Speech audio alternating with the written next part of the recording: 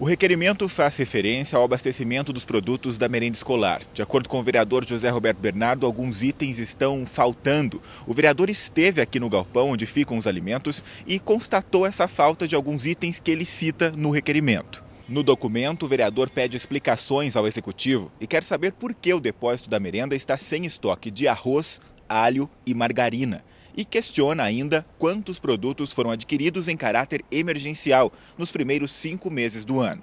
O vereador acredita que a falta desses itens está comprometendo o abastecimento da merenda nas escolas e classifica a situação como falta de planejamento. Agora, a Prefeitura de Limeira tem o prazo de 15 dias para responder os questionamentos feitos pelo vereador.